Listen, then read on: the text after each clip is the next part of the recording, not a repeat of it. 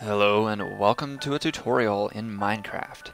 Hey guys, this is Civic Dude and you know I've uh, had a request in uh, my Let's Play series to uh, you know show how to make or convert a zombie villager back into a zombie.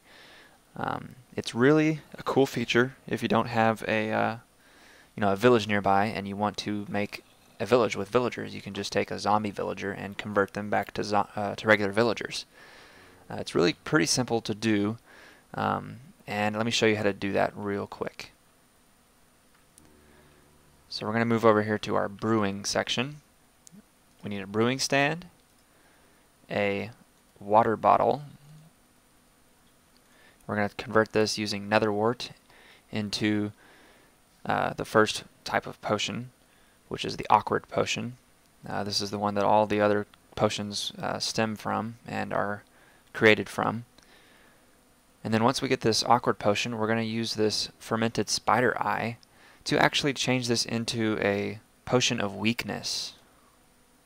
So you can see right now we have an awkward potion, and we're going to convert it into a potion of weakness.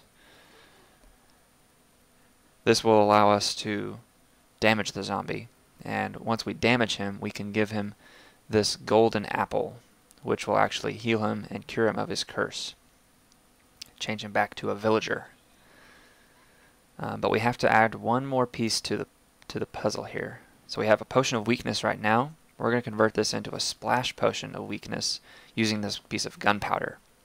This way we can throw it at the zombie and it will affect him because we can't give this to the zombie to drink, so we have to splash it on him. So once that brews up, we can go ahead and use it and we'll see this uh, effect happen. Now it takes a little time after you've given the zombie his medicine for him to actually change back to a villager. Now that he's weak, we give him the apple. And we sit here and wait until he changes back.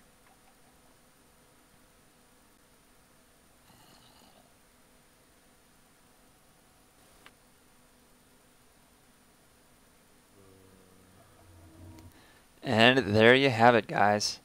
That is how you turn a zombie villager back into a regular villager. For more videos like this and my Let's Play series, you know, click subscribe and leave a like if you like this video. Thanks, guys.